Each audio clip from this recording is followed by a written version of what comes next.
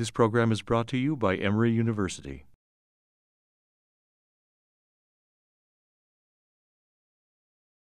Good morning, everyone, and welcome to the first kickoff conference of our Heart and Vascular Grand Round series.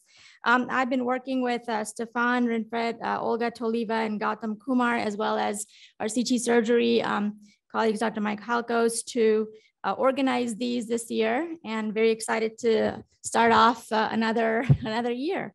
Um, thank you for those of you also who have emailed me. If you have uh, speakers that you'd like us to invite, just shoot me an email and we'll do our best to try to fit them in. Um, Robbie Williams also wanted me to announce that our cardiology fellows conference starts this Friday.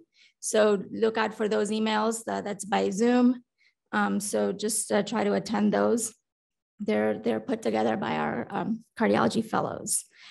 Okay, so um, today it's my pleasure to introduce Dr. Alanna Morris. She doesn't actually need any introduction. All of us know Dr. Morris, and it's hard to find any, um, you know, as I go through and get these invitations for different conferences, always see Dr. Morris's picture everywhere. And I'm always wondering, her office is right next to mine.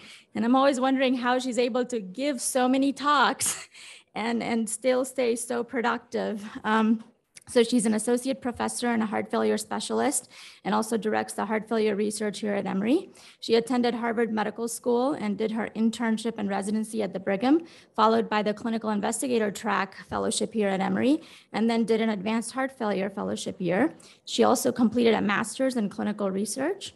She's very active within the ACC, AHA, Heart Failure Society of America, and is on a lot of uh, committees uh, and also on Scientific Statements Committee.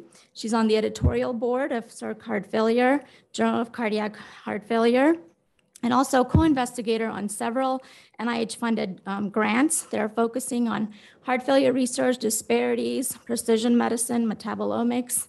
And uh, so who else but Dr. Morris to tell us about the updated um, heart failure guidelines that came out earlier this year.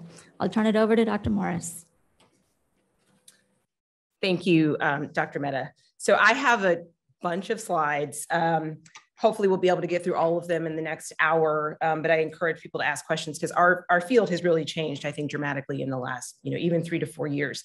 And the good news is we have a lot of options to treat patients. The bad news is we have a lot of options to treat patients. And so making uh, clinical decisions, I think in practice versus actually reading the guidelines um, become two very different things. But still, I think knowing the guidelines and where we are is extremely important. So um, these are my disclosures.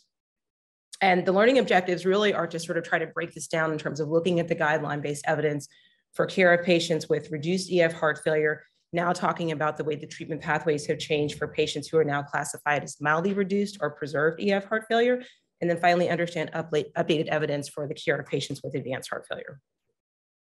So, um, I mean, it's no secret, right, that this uh, condition is one that we'll continue to see more and more and more of. You know, the prevalence of heart failure is increasing because of the advancing age of the population, as well as for the increasing burden of cardiometabolic risk factors.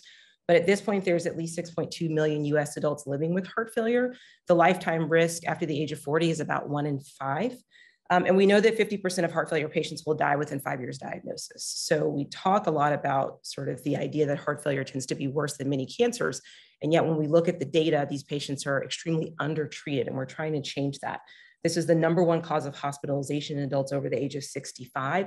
It's actually the third most common diagnosis related group within Emory Healthcare. And at this point, the 30 day readmission rate is still hovering at about 24%. And at one year, about 60% of these patients will come back to the hospital. So these patients are at extremely high risk for bad outcomes. And this is a nice slide from Stephen Greene, who's now an assistant professor at Duke, and, and he's worked a lot with Greg Fonarow and Javed, just sort of again trying to classify risk in this patient population. I think for years, many of us have been trained to think about coronary disease and preventing ASCVD as a primary uh, sort of thing that we do in our clinical practice, and that's extremely important.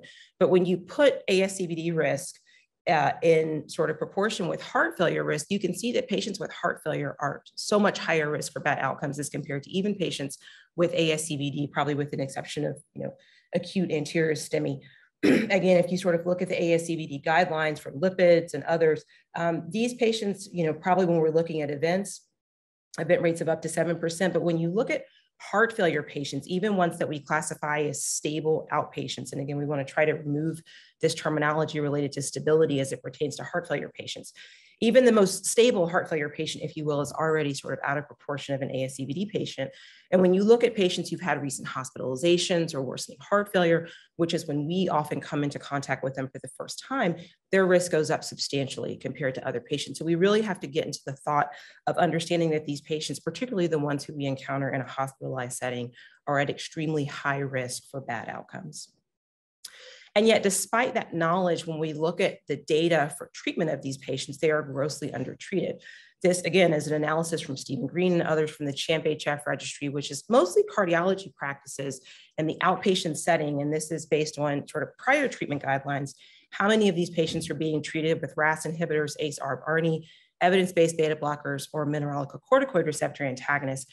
And when you look at this data, we can see that about 26% of patients who don't have a documented contraindication are not on an ACE and ARB or an ARNI. Um, over a third of patients um, are not on an evidence-based beta blocker, even though they don't have a documented contraindication. And almost two thirds of patients are not on an MRA, even though they don't have a documented contraindication. So I think what this analysis did, and it's been sort of cited over and over and over again, is that we can do better in both the outpatient and the inpatient setting in terms of getting these patients on drugs that we know reduce that high level of morbidity and mortality. And yet, despite that, these guidelines have changed. So we're sort of past the days of thinking about just ACE, ARB, ARNI, beta blocker, and MRA as the foundation of therapy. Earlier this year, the 2022 heart failure guidelines were published. These are some nice slides that were published by the Journal of Cardiac Failure. You can actually download um, these offline for those of you who are putting together presentations. There won't be time to actually talk about the top 10 take home messages, but I will sort of go through those um, and we'll go through a few of them in detail. So I think the first thing is that GDMT for HFrEF at this point includes four classes of medications with the SGLT2 inhibitor being the newest add-on. Um, we also now see this new classification again of mildly reduced EF heart failure and SGLT2 inhibitors have a 2A recommendation in mildly reduced EF. There's new recommendations for HFpEF, including the SGLT2 inhibitors, MRAs, and ARNI. We're now recognizing this new uh, category uh, called improved EF heart failure. These are patients who previously were classified as HFrEF, but usually with GDMT or other treatment paradigms, their EF is now greater than 40. And the take home for these patients is that they should continue HFrEF treatment unless there is sort of a clear and compelling reason to take them off. We have randomized data from the TRED-HF study showing that when you withdraw GDMT from this patient population, almost half of them will actually go back to having either biomarker or clinical evidence of heart failure within six months. So it's really important to continue GDMT in this patient population. Um, one of the things that's really interesting about the new heart failure guidelines is that they also um, put value statements for um, areas where we have high quality cost effectiveness data because we know that many of these newer drugs are expensive. So I think as clinicians, when we're talking to patients, oftentimes we are trying to talk about cost, but there actually is good cost effectiveness data for many of these drugs. Um, Amyloid has new recommendations for screening, testing, and treatment. We know Dr. Bhatt has the number one YouTube video for discussion about amyloid, so I'm not going to spend a lot of time on that, but it's worth reviewing that pathway in the new guidelines. Um, the uh, evidence also supports documenting increased filling pressures for patients with a heart failure diagnosis when the EF is greater than 40%, um, and we can use biomarker testing to do that. These are the um, take-home messages that I'm gonna concentrate on today. Going through the remaining messages, um, patients with advanced heart failure who wish to prolong survival should be referred to a team specializing in heart failure, including palliative care, consistent with the patient's goals of care. And we'll spend a little bit of time at the end talking about that patient population. Um, it's also important to realize that there's a new universal definition of heart failure that kind of retermed the old ACC AHA stage A as patients at risk for heart failure, as well as those who were old ACC AHA stage B as pre-heart failure with the new sort of addition that we should be checking biomarkers, either natriuretic peptides or troponin in that patient population, because we now have drugs that can prevent the onset of heart failure, particularly the SGLT2 inhibitors. So thinking about treating those patients who are at risk for pre-heart failure to try to prevent the onset of stage C in the same way that we try to prevent ASCVD is extremely important. And of course, there's a host of other recommendations for treatment of iron deficiency with or without anemia, hypertension, sleep disorders, type 2 diabetes, but we will not have uh, time to go through all of that. So let's focus on um, first contemporary treatment of HFrEF. So again, we've now established this concept of foundational therapy for HFrEF or these four pillars That would include the ARNI, although ACE inhibitors and ARBs are, are perfectly fine. Those are still class one an evidence-based beta blocker, an MRA, and an SGLT2 inhibitor, of which there are two that are currently FDA approved for the treatment of heart failure. I think the take home is that the benefits of these drugs actually start within the first 30 days of starting these therapies.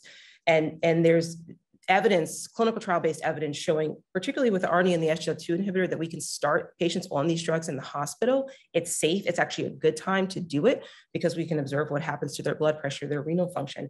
And this is a nice slide from Greg Fonarow that shows that if you look at cumulative risk reduction in all cause mortality, over 24 months, if patients were on all of these drugs, the relative risk reduction um, as compared to only two drugs is about 73%, and the absolute risk reduction is about 25%, with the number needed to treat of about four. So again, sort of going back to the guidelines, there's a nice um, treatment pathway that I've shown you here. It's relatively complex, and I think a lot of us are familiar with this.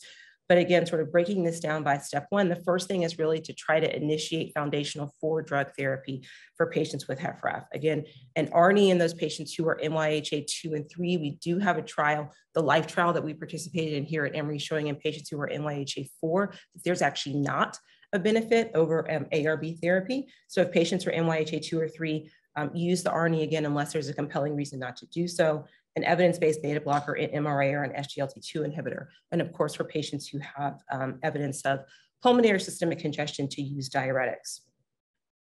Um, again, this sort of concept of the ARNI as the preferred RAS inhibitor, I think is still new for us. I think we're doing this much, much more in cardiology clinic. If you look at other practice settings like internal medicine or others, um, I think there's still somewhat of a reluctance to put patients on ARNI. Um, but the guidelines do tell us that for patients who are tolerating an ACE or an ARB, that replacing those with an ARNI is recommended to further reduce morbidity and mortality. And this is actually considered high value. So even though the out-of-pocket cost for patients for an ARNI is significantly greater than for an ACE or an ARB, based on the reduction in both mortality and hospitalization that we see in patients who are placed on an ARNI as compared to older generation drugs like ACEs and ARBs, this still provides high economic value. So let's go through the data for that. Um, we know that this started back in 2014 with the publication of Paradigm HF. Of course, patients were randomized head to head. The treatment with enalapril versus sacubitril/valsartan at the time, this was the largest heart failure study that had been done over 8,000 patients, EF less than or equal to 40%. And the primary outcome, of course, was a composite of uh, CV death and heart failure hospitalization. But what was exciting about this trial was not only the 20% relative risk reduction in that primary outcome, but all of the secondary endpoints, including CV death, heart failure, hospitalization, and all-cause death were all reduced for patients who were randomized to the ARNI compound versus enalapril. So again, this concept of head-to-head -head comparison showing the superiority of sacubitril valsartan.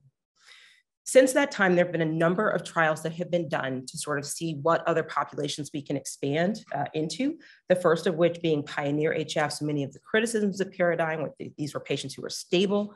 Again, outpatients, there was this run-in period, as you know, where patients had to prove that they could tolerate the highest dose of both an enalapril as well as the sacubitril valsartan to get into Paradigm. So we went back and we said, okay, let's do a different trial in a sicker patient population. So that was Pioneer. Just much smaller trial, only about 880 patients. This was done in North America. Um, again, EF less than or equal to 40%. Again, randomized to sacubitril valsartan or enalapril during a hospitalization for acute heart failure.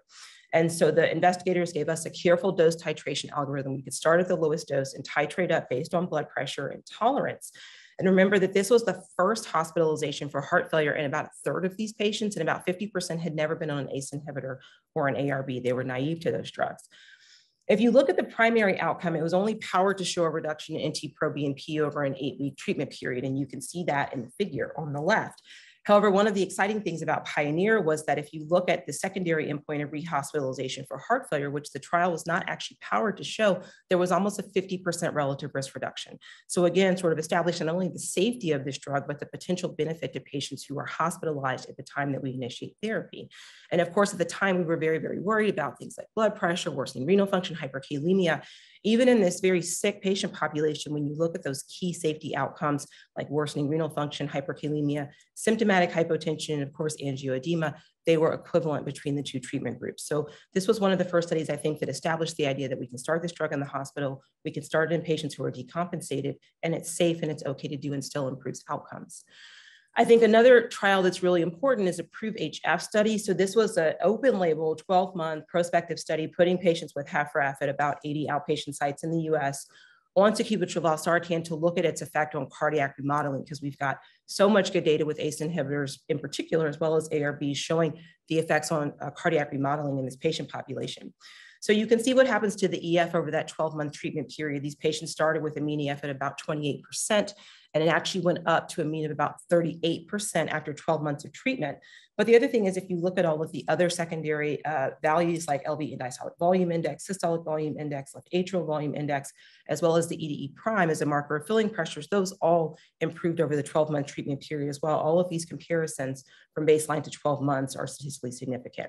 And I think the, the exciting thing or the really interesting thing about PROVE-HF was that 98% of these patients were already on a beta blocker at the time that they enrolled, and 75% were on an ACE or an ARB. So again, showing that even in the patients who were on sort of standard GDMT at that time, that we still saw a significant improvement in EF as well as all of these other uh, uh, cardiac remodeling parameters sort of over baseline therapy with an ACE or an ARB. So that's really the data that has established this idea that the ARNI is the preferred RAS inhibitor, assuming that patients can tolerate it hemodynamically and assuming that patients can afford it, which is sort of an important but separate conversation.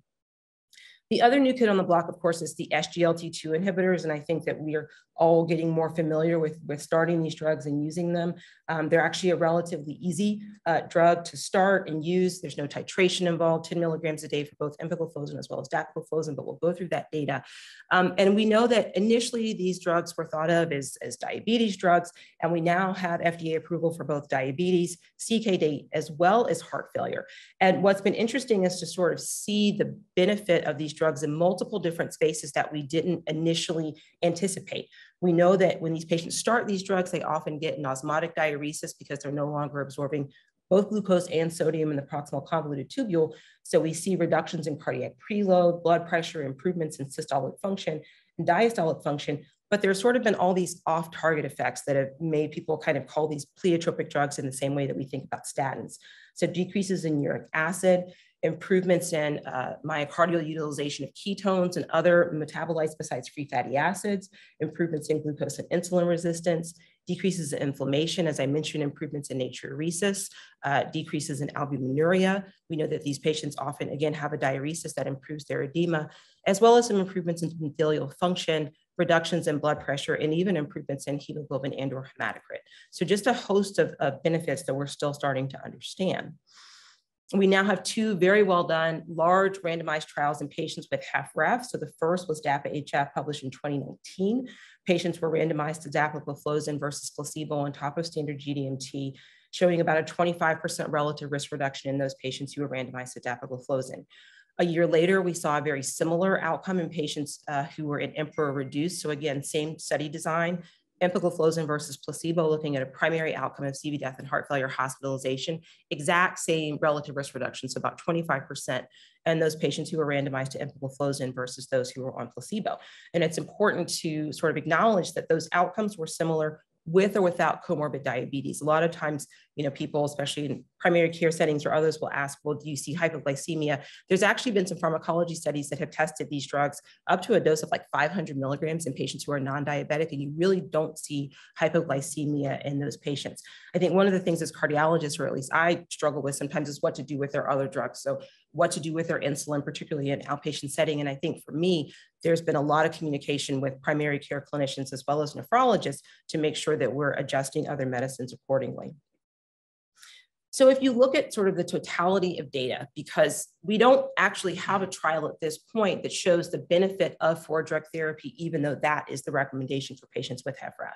What we do have is this really interesting analysis that was published in the Lancet a couple of years ago, using data from Emphasis, DAPA-HF, Paradigm, um, looking at sort of the benefit of four drug therapy as comprehensive therapy versus conventional therapy and ACE and R plus an evidence-based beta blocker. So what is the benefit that patients get when you put them on four drug therapy versus conventional therapy? And this is what this analysis shows. So if you look at event-free survival defined by CV death or heart failure hospitalization for a 55-year-old, you can actually buy them over eight years of event-free survival by putting them on four drug therapy as compared to two drug therapy. Even for an 80-year-old, you're getting over three years of additional event-free survival. So very, very compelling data. If you look just at survival alone, even forgetting about heart failure hospitalization, over six years of additional survival for uh, a 55 year old, and again, a little over two years of additional survival for an 80 year old. So these drugs are beneficial, they're extremely important. Um, but I don't want to say that there's not some costs related to the drugs, right? So I think we've been trying to do this in a clinic, clinical setting, and we know that sometimes getting all of these drugs on board can be difficult for a variety of reasons. This was a nice paper that was published earlier this year looking at sort of what they call the spending function, right? So trying to get patients on four drugs as opposed to two or three. And we know that when we talk about blood pressure, renal function, heart rate, and other factors, hyperkalemia, that sometimes it can be tricky and difficult clinically to apply these guidelines to real world patients. The other thing that Dr. Clements and I were talking about before we started, of course, is cost, because ARNI as well as SGLT2 inhibitor are both uh, brand name. There's no generic alternative at this point. I'm not actually sure when the ARNI will become generic, but even when it does, there's actually not a competitor, there's not another competitor in that class of drugs. So I think at this point, many of us are having conversations about the cost of these therapies with our patients much more so than we were when all of these drugs were generic and on the $4 Walmart list. That being said, I think it's very difficult to argue with the benefits, at least based on the clinical trial data that I show you. And this is something that I think we're going to have to do more and more in clinical practice to sort of weigh both the cost benefit as well as the issues related to blood pressure and just tolerance of all of these other drugs. How to do this actually is another um, sort of thing that's covered in the guidelines. Um, so the other thing that's important about sort of getting patients on these drugs is not just starting them, but titrating to the doses that we know have been effective in clinical trials. So that's step two is rapid initiation as well as titration. The guidelines actually tell us um, that uh, it's a class of recommendation one to titrate GDMT to achieve the target dose is shown to be effic efficacious in RCTs, and we want to actually do it frequently. You don't want to put somebody on an ARNI and say, hey, I'll see you back in six months. We actually want to try to bring them back within one to two weeks if possible. That could be done via telemedicine. This might be a place where telemedicine could be very helpful. And depending upon the patient's symptoms, vital signs, and lab findings, continue to try to uptitrate the dose there's been a lot of discussion about sort of what we used to do, which is usually starting a patient on an ACE or an ARB and then bringing them back in a few months, starting a beta blocker, then starting an MRA, and then starting an ARNI. And, and some of us are still sort of trying to get patients to max dose Coreg, for example, before adding on another drug. And the idea now is that we really don't want to do that, that we want to do rapid sequencing. Um, this is one uh, sort of thought or paradigm as to how we could do this to maybe start if you have someone who has de novo or a new diagnosis of acute heart failure or chronic or, or, or you know new systolic heart failure in the outpatient setting that perhaps starting the beta blocker and an SGLT2 inhibitor first at the same time. For the most part, DAPA-HF and EMPEROR reduced have shown us that the SGLT2 inhibitors in particular are relatively hemodynamically neutral. We don't see a lot of blood pressure lowering, at least in HFrEF patients, from starting those drugs and then perhaps coming back in a couple weeks and adding on the ARNI and then adding on the MRA or vice versa. There's also some interesting data showing that if you put patients on an SGLT2 inhibitor first, that that reduces the risk of hyperkalemia associated with the addition of the MRA. So there's a lot of potential ways to do this. I think the thing for us to remember is that it's important to try to do it as rapidly as possible, assuming that the patient is tolerating these drugs in terms of hemodynamic or other side effects. So what if you have a patient who still has persistent symptoms once they're already on four drug therapy? then what do you do? Um, and here's a place where, again, we still have some oldies but goodies like hydralazine and nitrates, as well as some newer therapies that we can consider adding on. So step four is to consider additional therapies and implement additional GDMT for patients who either don't tolerate four drug therapy or still have persistent symptoms in spite of four drug therapy. This is an editorial that Javed Butler and I put together after these guidelines were published, just sort of comparing the 2022 AHA, ACC, HFSA heart failure guidelines to the ESC guidelines that were published the year before. There are some differences. Again, one of the discordant recommendations, I suppose, is that the US guidelines are, again, putting the ARNI on top is the preferred uh, RAS inhibitor as compared to ACE inhibitors or ARBs. Um, another difference is that the ESC guidelines actually downgraded hydralazine and isosorbide because of the lack of evidence in patients who are not self-reporting as Black. But it's important for us to remember that the US guidelines still keep hydralazine and isosorbide, as you saw, as a class one. There's also interestingly a lower level of recommendation in the ESC guidelines for primary prevention ICD in patients with non-ischemic heart failure, mostly because of the Danish trial and some other trials that have sort of shown that maybe primary prevention ICDs are not as beneficial as what we saw in SCD-HeFT and other, other trials, older trials. And I think the thought there is that now that our, our GDMT for HFrEF has evolved and the event rate for these patients is starting to come down, that there may need to be a reassessment of, of where the benefit of primary prevention ICDs are, particularly for patients with non-ischemic heart failure. So stay tuned. We may see some more data in that realm, but I think it's going to take a couple of years. And then the other thing, as I mentioned, is that the value statements associated with these drugs um, was put sort of in the forefront for the 2022 guidelines, but value really was not addressed at all in the ESC guidelines. So what are the additional options for patients who have persistent symptoms on four drug therapy or even worsening despite four drug therapy? Well, again, there's still a couple of options. Many of these are familiar. Um, ivabradine for patients who uh, have HFrEF, with a heart rate above 70 beats a minute on a maximally tolerated dose of beta blocker. I think that's the key thing. They have to be in sinus rhythm, heart rate above 70 on a maximally tolerated dose of beta blocker. So before I reach for ivabradine, I usually try to ask myself, can these patients um, uh, tolerate any up titration of their beta blockade? Vericiguat is another new kid on the block, which we'll talk about a little bit. And of course, DIG is still a 2B polyunsaturated fatty acids or a 2B, as well as some evidence for potassium binders, which are now recommended to hopefully allow us to get patients who have a history of hyperkalemia on an MRA back on that MRA so that they can accrue the benefits of either spironolactone or eplerenone. So we'll talk about these in a little bit of detail since again, those are, are probably newer for some of us. The SHIFT HF trial is actually over 10 years old at this point. I think most of us are comfortable and familiar with this uh, drug compound, but for those of you who aren't, the idea was that in many um, sort of older large cohort and observational studies, elevated heart rate has been associated with increased mortality, but we know that sometimes titrating beta blockers up for these patients to achieve heart rate reduction is not possible because of the hypotensive side effects, the negative inotropy, and other effects. So ivabradine was a newer drug. It inhibits the sodium uh, sodium current in the sino, sinoatrial node. And so in the SHIFT HF uh, trial, over 6,000 patients were randomized um, to ivabradine versus placebo. These are patients with class two, three, and four heart failure and an EF of 40% or less. And you can see about an 18% relative risk reduction in those patients who were randomized to ivabradine. And that was driven by mostly a reduction in heart failure hospitalizations. There was no impact on CV death.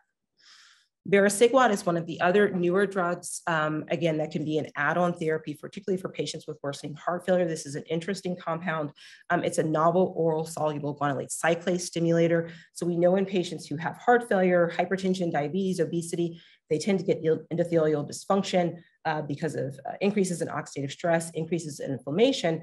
And what that does is it uh, decreases the amount of circulating NO that's available. NO is needed to activate soluble guanylate cyclase to stimulate GTP to cyclic GMP. And so because of the uh, reductions in nitric oxide that we see in these patients, we don't get all of the benefits of cyclic GMP, like improvements in myocardial as well as vascular dysfunction.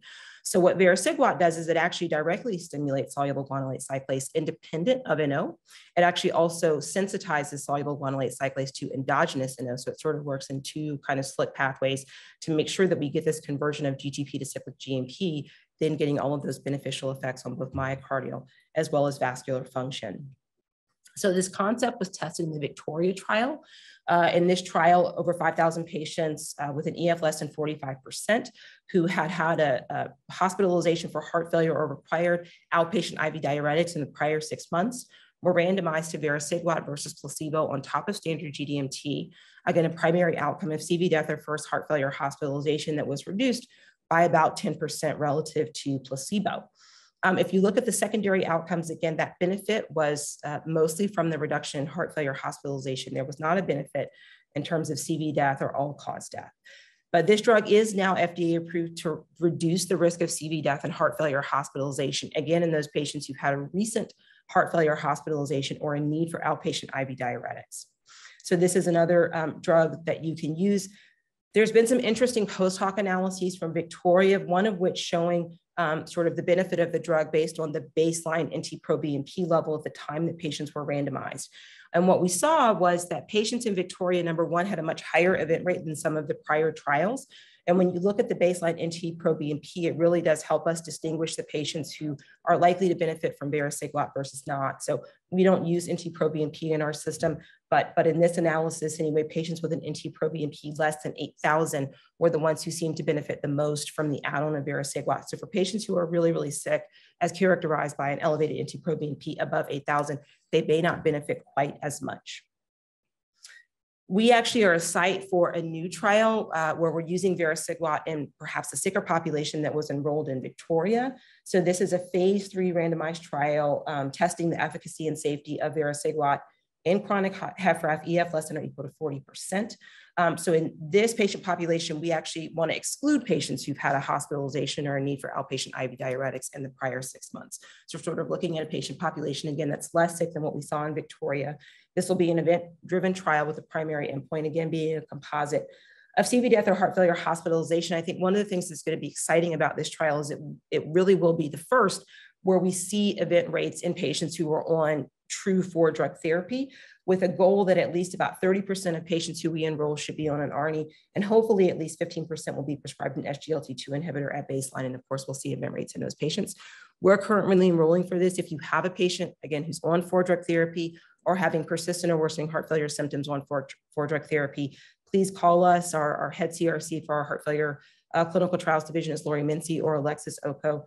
He's my research fellow that can help us sort of uh, establish for you whether patients are eligible for participation here. And lastly, patiromer. So this was tested in the Pearl HF study. Again, this is actually an old study. It was published in 2011, but this was a small study of about 100 patients with uh, chronic heart failure who had an indication to receive spironolactone, but had a serum potassium of 4.3 to 5.1 at baseline and had CKD or history or documented hyperkalemia.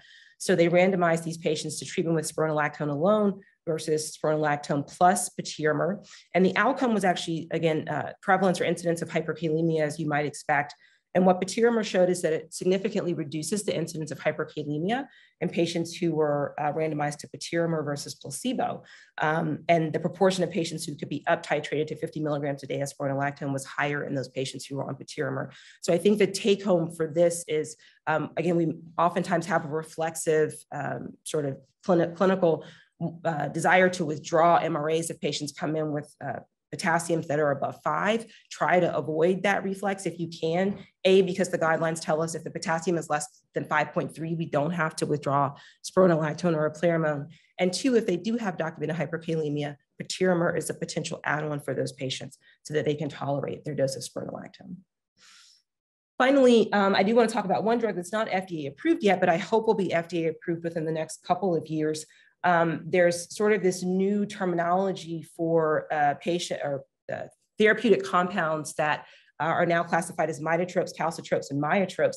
So these are therapeutic agents that affect the myocardial contractile apparatus. The calcitropes are the drugs that we're familiar with that we tend to call inotropes, dobutamine, uh, milrinone, DIG, and these drugs work by increasing myocardial force production by altering intracellular calcium. We're familiar with these drugs, we've used them for years, but most of the randomized trials using these drugs, of course, have shown an increase in mortality in patients who are randomized to those drugs. So there are a, a number of other novel compounds that are trying to target the myocardial contractile apparatus without increasing intracellular calcium, one of which is omecamtiv mecarbil. So this targets myosin in particular, and I'll show you the data for that. This was tested in the galactic uh, heart failure trial. There's also a number of compounds that would fall into the classification of mitotropes. So these are uh, uh, compounds that target mitochondrial energy production. Uh, coenzyme Q10 would fall into that category, even though we know the data for that is probably not as good as we'd like for it to be, but patients are often more willing to take uh, CoQ10 as opposed to some of the other drugs. And there are some newer agents like trimetazidine, as well as elamipretide that we may see some, some newer therapy or data for.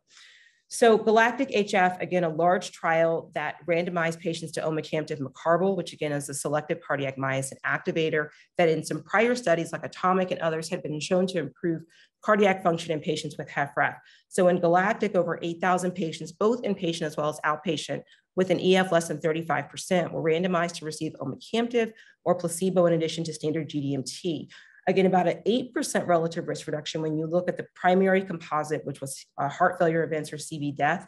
but that uh, primary composite was driven by mainly a reduction in the first heart failure event, which if you look at the p-value sort of just crossed one, no impact on CV death. And interestingly, their pre-specified improvement in the KCCQ score as a patient-reported outcome actually did not meet uh, the pre-specified um, test for clinical significance. But what's interesting about omecamtiv is, again, like many of these trials, there's been some important post hoc analyses that have come out since the original publication of um, Galactic.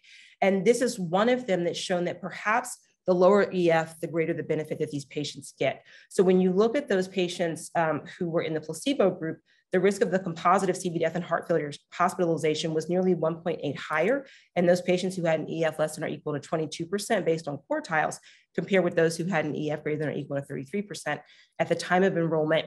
And if you look at the incidence rate of the primary outcome in those patients who were on omecamtiv, as the EF gets lower, you can see sort of a clear benefit of omecamtiv versus those patients who are enrolled on placebo. Again, sort of put another way, here's the treatment effect of omecamtiv. And once you get below an EF of around 25%, we start to see an improving benefit of this drug combination. And actually, when they, they looked at this in more detail, there was about a 17% relative risk reduction for those patients who had an EF less than or equal to 22% versus no benefit for patients who had an EF above 33%. So I don't know, um, again, if this drug is going to be FDA approved, but I think this uh, particular agent might be more beneficial in patients, again, who have a lower EF, more advanced heart failure, but that is to be determined hopefully within the next year or two. So I'm going to stop there. I don't know if we should stop for questions or I should keep going. Um, but we can talk about mildly reduced as well as preserved EF heart failure. So these are the new recommendations for mildly reduced MPEF. Um, this mildly reduced category used to be called borderline heart failure. We're now again calling it mildly reduced. These are patients with an EF between 41 to 49.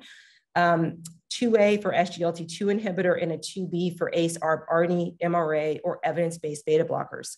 For HFpEF patients, the guidelines are relatively similar. Uh, EF greater than or equal to 50%, SGLT2 inhibitors get a 2A, um, ARNI, MRA, and ARB get a 2B. Note that beta blockers are no longer recommended for HFpEF. And this is different, right? Because most of our patients with HFpEF tend to be on beta blockers. I think the question that you have to ask yourself is, is the beta blocker indicated for another reason, right? Like their coronary disease, AFib, or some other reason. But if you're just adding a beta blocker just because they have HFpEF, that is no longer uh, indicated based on the guidelines. So again, we'll look at the data for SGLT2 inhibitors, which have the highest level of recommendation in both the mildly reduced as well as the PEF space. The first trial that we had was Emperor Preserve, published last year. Um, this was about 6,000 patients, EF greater than 40, um, both type 2 and non-type 2 diabetic, chronic heart failure, GFR greater than or equal to 20. So again, we're sort of pushing the limits of, of what we can do in terms of patients' baseline renal function. Um, and this again was looking at the safety and efficacy of empagliflozin versus placebo in patients who had an EF of 40%. Again, you can see that hazard uh, ratio of about a 21% relative risk reduction in patients who were randomized to empagliflozin.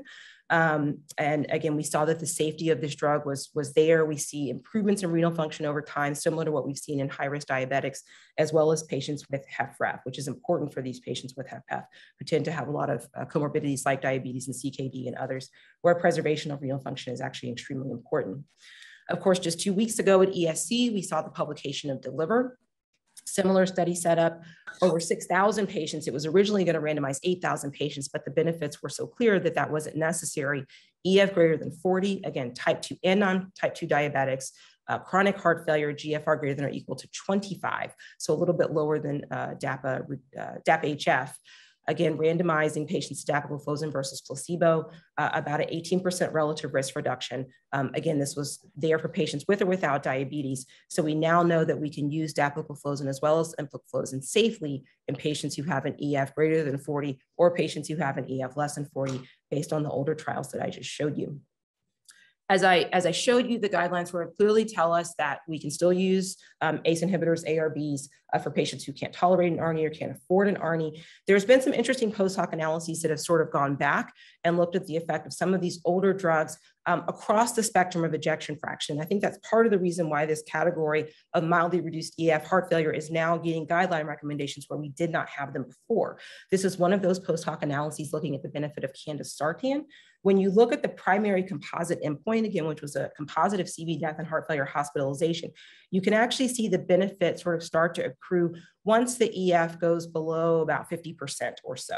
And if you look at heart failure hospitalization, the same kind of thing, or recurrent heart failure hospitalization, uh, when you look at time to first heart failure hospitalization, you start to see this benefit as the EF goes below 50. When you look at recurrent heart failure hospitalization, you actually see that benefit over a wider spectrum of baseline EF range.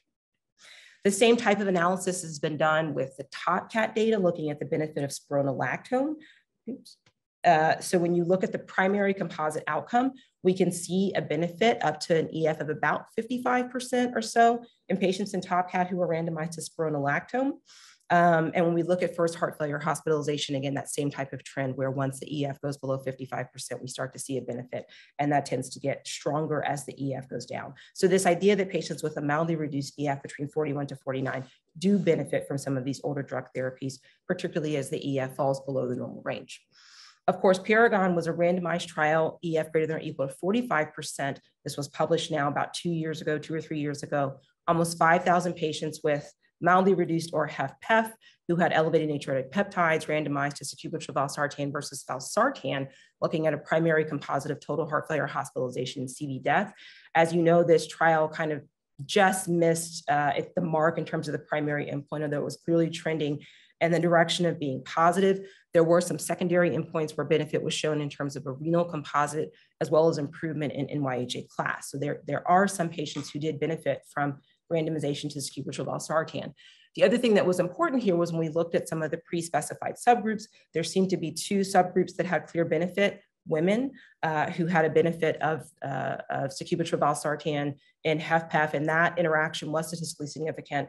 And the other group was patients who had an EF below the median at the time of enrollment, which turned out to be 57%. But again, this idea that patients who have an EF sort of below normal may benefit a little bit more than those patients who have an EF above normal. So again, uh, a, a, nice post hoc analysis where they combined patients from Paradigm and Paragon, so sort of across the spectrum of EF, looking at the benefit of sacubitril valsartan. And when you look at this benefit, it really does start to accrue sort of once you get in that range of 55% or below, sort of across that spectrum. The other thing that's interesting is if you think about again that those pre-specified subgroups, when we look at the benefit for women as compared to men, we see that men probably have a benefit, again, at least based on this post hoc analysis, when the EF is sort of clearly in the mildly reduced range or below. But women actually tend to accrue a benefit maybe all the way up to an EF of 60% or a little bit greater, with the thought that what we define as normal EF for men and women may actually differ uh, because women's ventricles are smaller and other factors that we're still understanding from work like Dr. Mehta does and others. So there may be a greater benefit for women uh, with sacubitril valsartan, even up to a higher EF range um, than men. So I, that's the data for mildly reduced in PEF. I'll spend the last uh, couple minutes talking about contemporary care of patients with advanced heart failure. So we know, particularly sort of in our healthcare system, that we see a lot of advanced heart failure. This is probably grossly underdiagnosed, but based on the best data that we have among the 6 million patients with heart failure, about 5% per year will progress to advanced or stage D heart failure.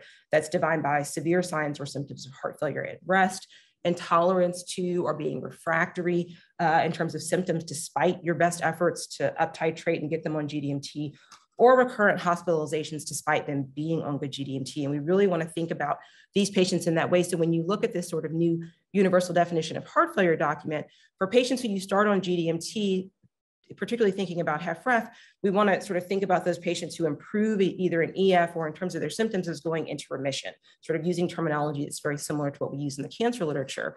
However, for those patients who have persistent signs or symptoms, we want to be asking ourselves, do these patients have advanced or stage D heart failure? And are those patients who need to be referred to your friendly heart failure uh, cardiologist or, or clinical group?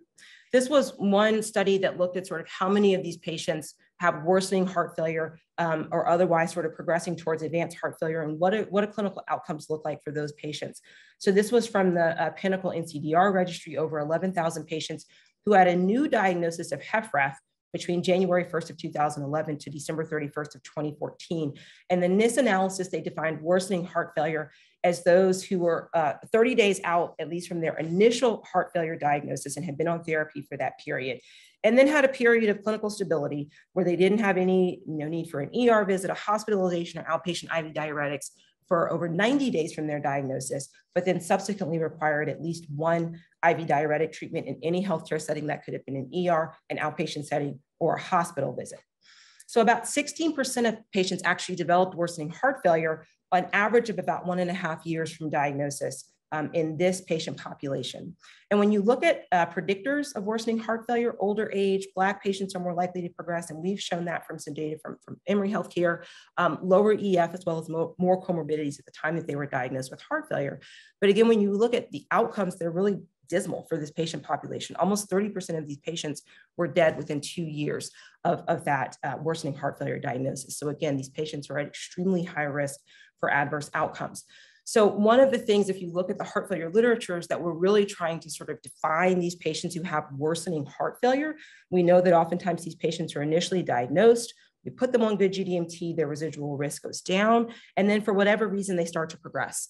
And, and many times in the literature, we've sort of defined that progression by a heart failure hospitalization, but we really want to move back upstream because oftentimes we're seeing worsening heart failure in the outpatient setting, right? Where we're having to uptitrate patients' diuretics, we're having to withdraw GDMT because they're now hypertensive or their creatinine has bumped. And so these are the patients who have worsening risk. And we really want to try to refer these patients to advanced heart failure cardiology before we're meeting them in the CCU for the first time on ECMO. So the guidelines now tell us that in patients with advanced heart failure, when it's consistent with the patient's goals of care, that timely referral for heart failure specialty care is recommended to review not only their GDMT, but are they candidates for um, you know, transcatheter mitral valve therapies, or are they suitable for advanced heart failure therapies like LVAD and transplant? This is a scientific statement that I led uh, that was published last year, sort of establishing this concept of what we call the golden window for referral. So there are some patients actually where early referral is absolutely indicated, even if they seem to be doing okay, it might be someone who you're considering, does this patient have cardiac amyloid and you want help, you know, sort of accessing PYP scans or getting into, into myocardial biopsy or other areas, or you might be interested in getting genetic testing for that patient to try to establish sort of what is the true etiology of that patient's heart failure. Of course, we know that many of these patients are unfortunately referred too late when they come to us when they already have cardiac cachexia or they have multi-organ failure, irreversible liver or renal function, where instead of evaluating them for heart transplant only, we're evaluating them for dual organ transplant. So what we wanna do is try to sort of move that window upstream and ask clinicians to really think about patients patients who have persistent symptoms despite optimal GDMT, patients who you're having to down titrate their GDMT because they're no longer tolerating it. Of course, people who've been hospitalized frequently, even those who are having worsening atrial fibrillation or VT, particularly requiring ICD shocks, or worsening renal function, those are patients who need to be referred to us, um, ideally in the outpatient setting, uh, as opposed to in the inpatient setting. And part of that is because when we talk about these advanced therapies, there's multiple domains of varying importance to individuals who would be classified as having worsening or even advanced heart failure. Of course, when we look at the data, oftentimes we're sort of uh, looking at survival as the most important domain. But one of the things that, of course, patients think about is the burden of these therapies. They're costly, they're, they're not cheap, particularly when we talk about transplant and VAD when we think about some of the associated medical therapies that we need to maintain the longevity of those therapies. Um, of course, there's caregiver or care partner burden, and this can be a really difficult thing for many of our patients, particularly for those who are in the younger age, age ranges where they may not have spouses who are retired or other factors. And then, of course, quality of life. So many of our patients are sort of thinking about that or transplant um, as, a, as a potential survival benefit, but often what that does to all of these other domains. And it can be very difficult to have these conversations with patients in an inpatient setting. So the idea, of course, is that it's much nicer if we're having a conversation that looks like this in the outpatient setting and getting patients to think about those factors even before they've progressed to requiring inotropes versus like this, where we meet many of our patients for the first time in the CCU. Um, I just wanted to put this data up there. This was actually published, I think, just last week. This was uh, this is the, sort of the newest analysis from the Momentum trial, which randomized patients to the HeartMate 3 versus the older axial flow HeartMate 2, which we, we really don't use anymore, although we have a few patients in our system who are still uh, being supported with a HeartMate 2. But I think you know many of us probably still have the concept that these devices are associated with very high morbidity and mortality. And, and actually, if you look at the data, the one-year outcomes for the HeartMate 3 in many patients are actually as good as transplant, over 90% one-year survival. And when you look at five-year outcomes, which is the most recent analysis that was done from this trial, uh, if you look at overall survival, it's about 58% for patients who are randomized to the HeartMate 3 versus the HeartMate 2, where it's still about 43%. So again, much better than survival with inotropes or, or GDMT. If you look at event-free survival, which include uh, sort of device therapy or stroke, it's about 54%. So um, we really want to think about referring these patients for advanced therapy sooner. I don't know that this needs to be said to anybody in this audience, but some clinical clues again that a patient may have advanced heart failure, persistent symptoms, greater than two ER visits or hospitalizations for acute heart failure in the prior 12 months. So I think this is one of the areas that we probably are desensitized because we do see a lot of worsening heart failure where patients get hospitalized. But if someone is being hospitalized frequently, they really um, should be referred to us again, either in the outpatient setting or a consult in the inpatient setting. But even for those patients who've never been hospitalized, high risk biomarker profile, very persistently elevated troponins or BNPs or NT-proBNPs, again, inability to uptitrate GDMT because of hypotension, dizziness, worsened renal function, um, onset of arrhythmias like AFib, VT, certainly those patients who are being shocked by their ICD, patients who are on very high doses of diuretics or you're continuing to uptitrate diuretics and they're still persistently edematous. And of course, anybody who's had a prior need for IV inotropes. There was an um, acronym that was published a couple of years ago, I need help. Um, some people don't like this acronym, but if you're someone who does, some of the fellows really like this, this is another way to sort of help think about um, these patients who need to be referred. So um, just in conclusion, uh, heart failure has really changed. The, the things that we have to offer patients, because I didn't talk about, you know, again, transcatheter valve therapies, uh, iron deficiency or treatment of IV iron. There's a lot of things that we have to offer patients with heart failure. Um, and I think that this landscape is going to continue to evolve. Um, for patients with uh, uh, heart failure defined by stage C, remember if they have HFrEF, that ARNI plus evidence-based beta blocker, MRA, and SGLT2 inhibitor are now considered foundational therapy for those patients, and that we are seeing uh, benefit of the ARNI as well as the SGLT2 inhibitors across the spectrum of EF, including those patients who would fall into a mildly reduced or a preserved EF category. And then finally, for those patients who have advanced or worsening heart failure, please consider referring them to heart failure specialists, uh, assuming that's consistent with their goals of care. So I'll stop there because I wanted to leave some time for questions. And Thank you, Dr. Morris, for that outstanding uh, talk and for getting us up to date on these guidelines. Um, go ahead and start asking questions. Go ahead.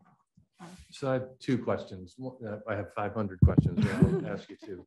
Um, so one is about the uh, Victoria study where you showed the, the post hoc analysis showed the pro, uh, the NT-pro BNP was low. I mean, how, why is that? Well, well so- what's the mechanism whereby people with a lower NT-pro BNP So I think the thought is that if you look at the event rate for patients, even in the placebo group in Victoria, it's substantially higher than some of the more recent contemporary trials like DAPA-HF and Paradigm.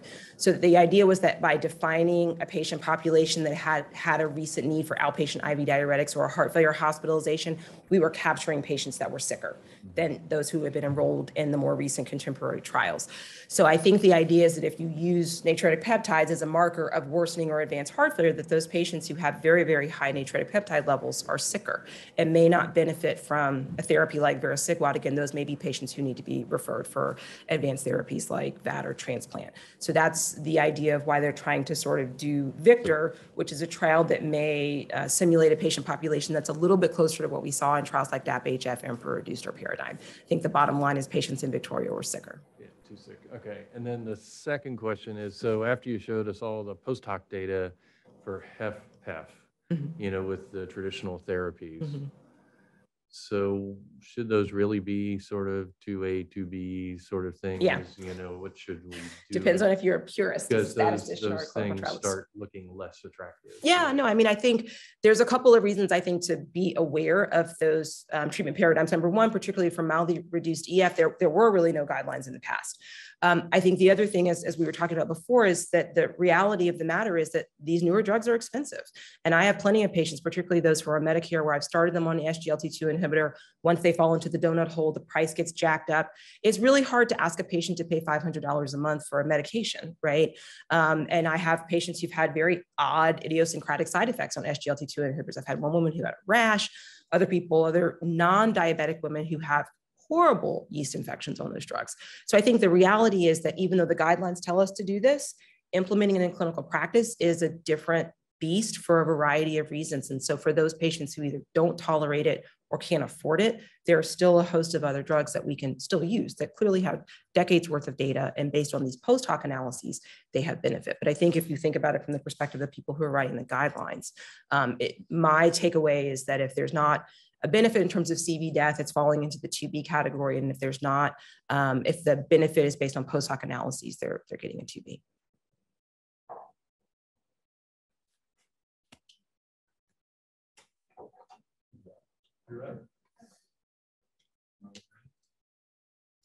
So uh,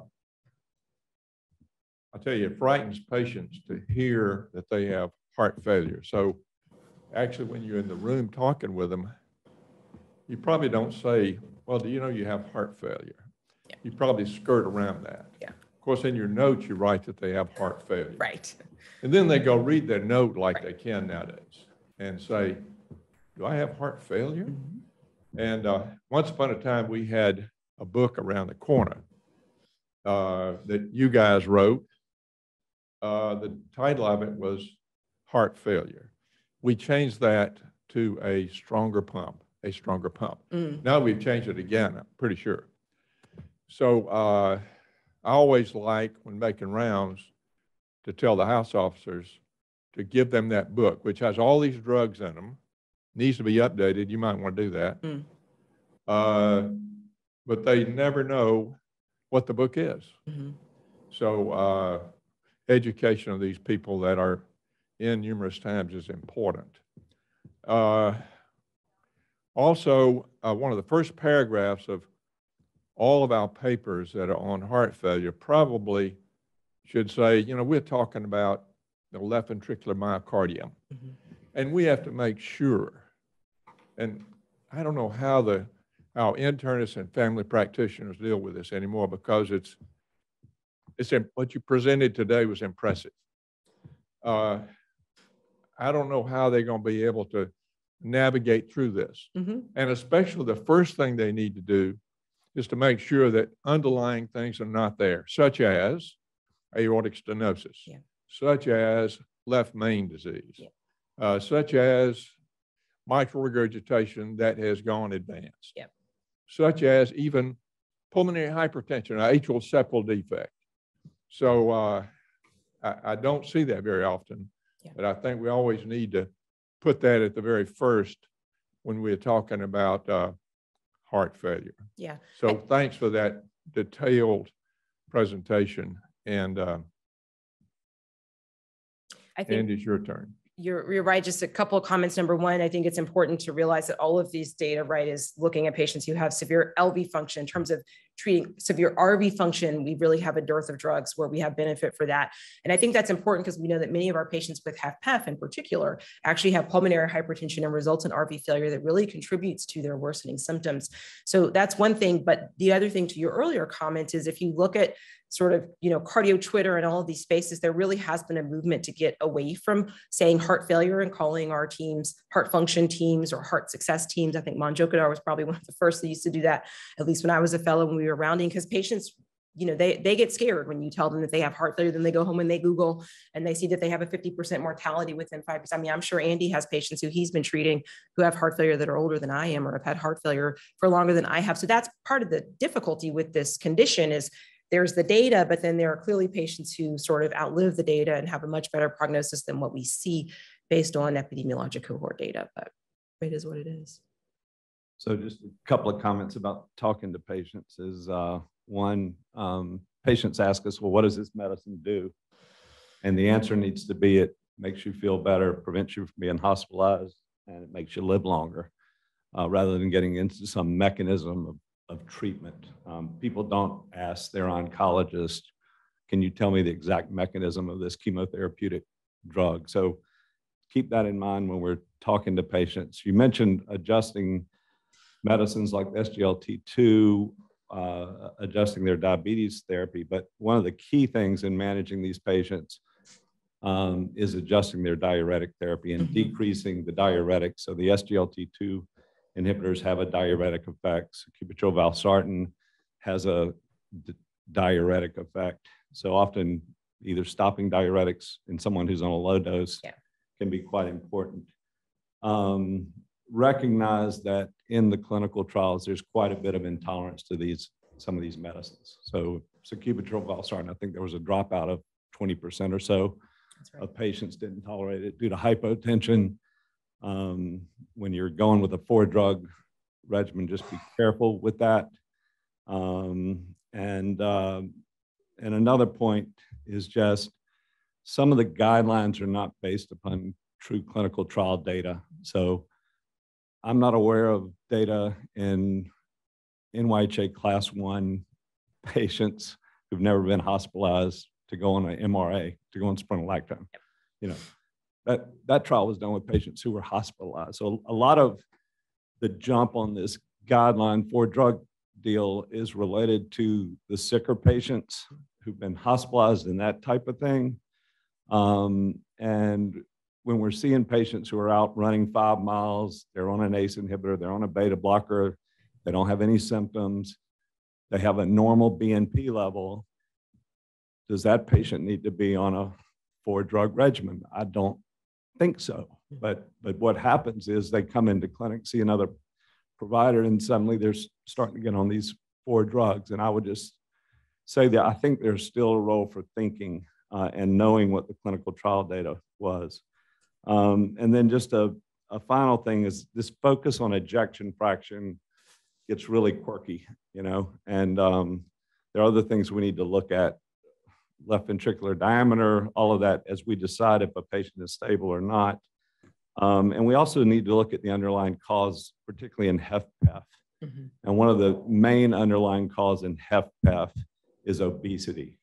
And, you know, it may well be shown in the future that maybe the GLP-1 agonist that may cause dramatic weight loss may be the treatment for HFpEF. So Yeah. there, there's still a role for looking at the underlying cause. And then just a final thing is that we've been involved in a trial where Neal Dickert would give us a sheet of what the patient's actual insurance would cover for the medicines, which is dramatically helpful in management.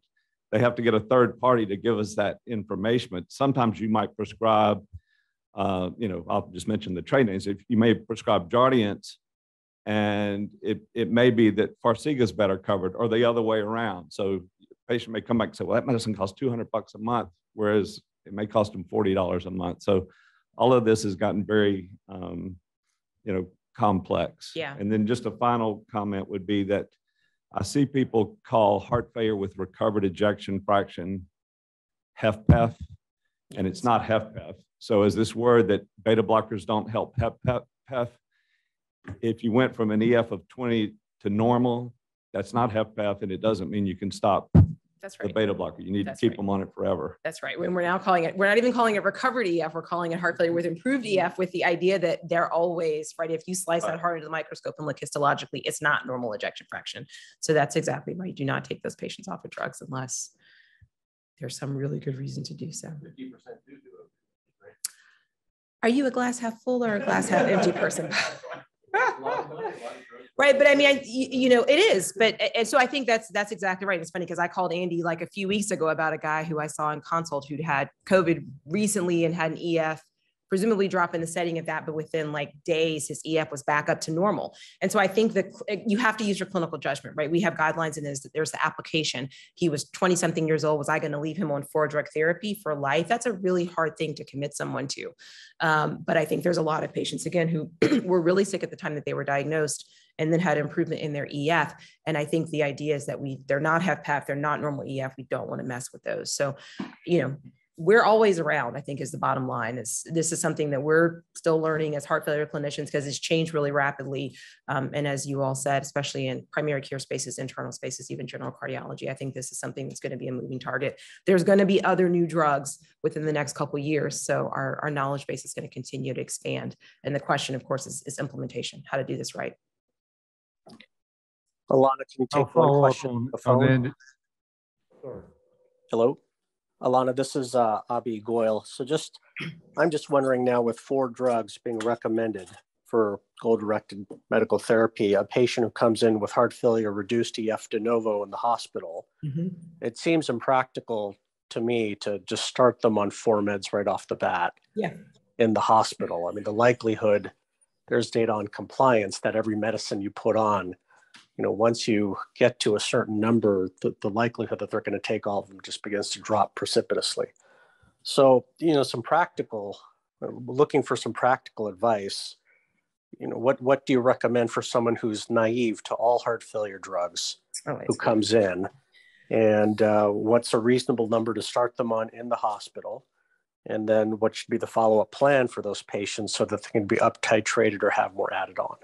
Yeah, I think that that's a that's a really interesting question, Abby, and it, it's it can be difficult. And I think for me, it depends on uh, uh, the factors that we always look at, like like renal function, blood pressure, et cetera. If someone's hovering with a blood pressure in the 90s, the idea that they're going to tolerate ARNI is is is maybe not the likelihood that they're going to tolerate that is not high.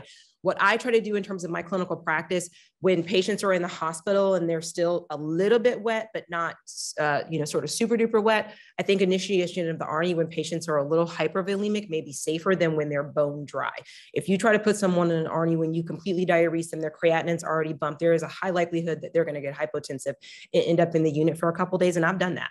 Um, you know, you can ask my team. So I think we have to be aware, as, as Andy said, that hypotension is the most common side effect, particularly for patients who are, are already sort of hypotensive or teetering doing or who have labile renal function that starting them on the ARNI in the setting of the hospitalization may not be the right thing to do. Maybe waiting until later is a better time versus if someone's sort of euvolemic, maybe starting the beta blocker at very low dose before they leave the hospital and the SGLT2 inhibitor, knowing that you're going to see a decline in a GFR after you start an SGLT2 inhibitor, no matter what. That's sort of been shown in all the high risk diabetes trials, the heart failure trials, as well as the CKD trials. There's this characteristic dip in the GFR that usually normalizes after six to eight weeks of therapy. So that sort of slide that I showed you on titration of therapy, some people think maybe starting the beta blocker and the SGLT2 inhibitor first, because the SGLT2 inhibitors, at least in HFrEF, have been shown to be relatively hemodynamically neutral, which is interesting because in the CKD and diabetes trials, they're associated with blood pressure lowering. But in Emperor Reduced and DAPA HF, for the most part, patients' blood pressure stay okay. 10 milligrams a day, you start it, you forget it, don't check labs.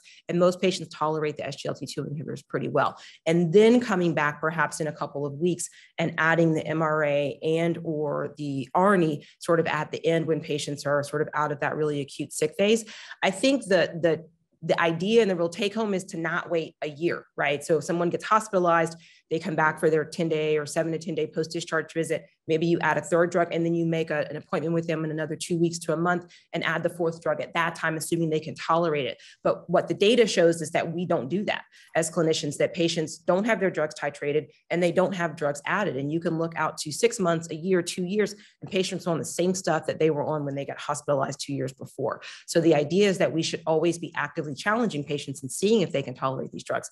If they don't tolerate it, they just don't. I've got plenty of patients who I tried on Entresto, they got hypotensive or they felt really fatigued, and I put them back on an ACE or an ARB. So I think that that's that's okay to do. Uh, Alanna, this is Tanvir calling in. Can you hear me? Yep. Yeah, yeah. So what to do about the patient who appears who has had heart failure, is compensated and is euvolemic, but still has low level of BNP elevation, say 300 to 400 range, you know, and you're seeing them in the office and the PCPs refer that back to you. So what to do with that kind of patient? So mm. I think that it depends on how you think they're doing. So, so a couple things, and this slide got cut off for some reason, but there, there was another document that was published in early 2021, sort of establishing this concept of the universal definition of heart failure based on BNP levels. And a BNP over 35 is actually diagnostic of heart failure at this time. So it's no longer BNP greater than or equal to 100, it's a BNP over 35 with the acknowledgement that there's lots of confounders, right? Patient's body weight, do they have HFpEF, what is their renal function? But if their BNP is three or 400, that's actually quite high since 35 is the cutoff now for what defines heart failure in an ambulatory setting. So that's number one. But I think, you know, as Andy said, some of these patients are, are doing okay. I don't want to say they're clinically stable because we know that the risk for progression in many of these patients is very high. But for a patient who's exercising, is walking, seems functional, that may be a patient that you follow closely and see back frequently, and you're not necessarily, you know, sort of doing super aggressive maneuvers to try to figure out what's going on.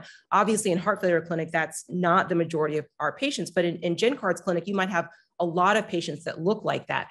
That being said, if patients do have a persistently elevated BNP or troponin, despite your, um, you know, sort of attempts to optimize, there's there's room, right, to give patients on more drugs, particularly if they have other comorbidities. So I think the question, of course, is, do you are you sitting in front of a patient who's got mildly reduced EF? And their BNP is 300, but they also have CKD and they also have diabetes and they're not on an SGLT2 inhibitor. There are so many of those patients like that out here. So the heart failure is only one reason to start dapagliflozin or empagliflozin. And they've got two other reasons to be on those drugs, including their CKD and their diabetes. So I think that's a lot of what I do, even for patients who look to be doing okay. The other point is that in all of the trials that I showed you, the vast majority of the patients in those trials were actually NYHA2. So 70 to 80% of those patients are NYHA2. They're not NYHA3 or 4. They're actually patients who we look at in an outpatient setting and say, hey, you're doing okay. And yet still, you know, within two years, 30% of those patients are dead. So I think, again, sort of constantly reestablish what is that patient's risk profile, really pushing them in terms of understanding their symptoms, looking at their spouse or their care partner to say, are they really able to walk around Walmart? Are they getting short of breath? I mean, I think those are the things that we're going to have to do because there's a lot of room to optimize GDMT, and many of our patients have other comorbidities that would warrant addition of some of these drugs. Thank you. Dr. King, did you ask your question? Okay. Okay, great. Thank you so much. And don't forget to get your CME. So you have to go online and click to get to get your credit. Thank you. I'll see you next week. The preceding program is copyrighted by Emory University.